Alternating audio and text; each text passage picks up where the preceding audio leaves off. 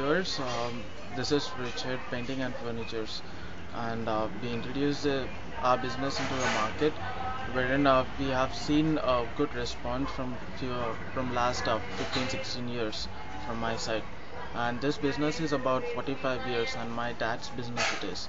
And um, we are special into we are specialized into painting and furnitures uh, such as aluminium glasswork we take care of uh, partitions interior and exterior paints and false ceilings.